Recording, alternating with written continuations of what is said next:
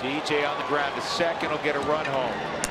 Scutaro throws him out. It's five to three. It's Pacheco scores.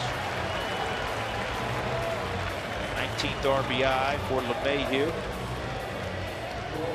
Dickerson to third. Here comes Tulowitzki.